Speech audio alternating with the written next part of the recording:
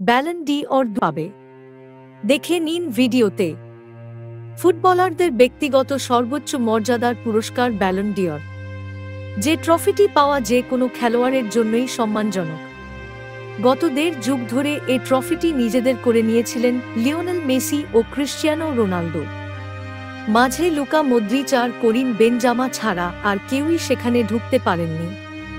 কাতার বিশ্বকাপ জয়ের পর ক্যারিয়ারের অষ্টম ব্যালন ডিয়ারের স্বপ্ন দেখছেন আর্জেন্টাইন সুপারস্টার। মেসির নিকটতম প্রতিদ্বন্দ্বী। ম্যানচেস্টার সিটির গোল মেশিন আর্লিং হ্যালান্ডো ইপিএল এর এক মৌসুমের ব্যক্তিগত সর্বোচ্চ গোলের রেকর্ড এই নরওয়েজিয়ান। রেইসে আছেন কিলিয়ান এমবাপ্পে।